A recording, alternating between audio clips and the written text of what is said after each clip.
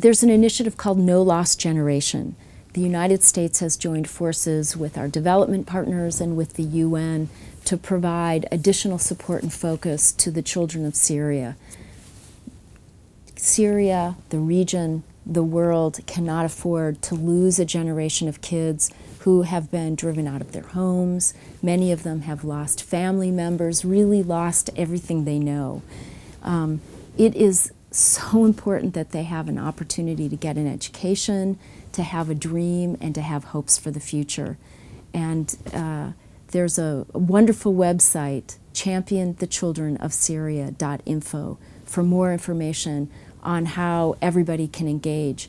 You know, the, the challenge in a conflict that has gone on for so long and has such overwhelming numbers attached to it is that people don't forget the crisis, but they lose sight of the human dimension behind the crisis.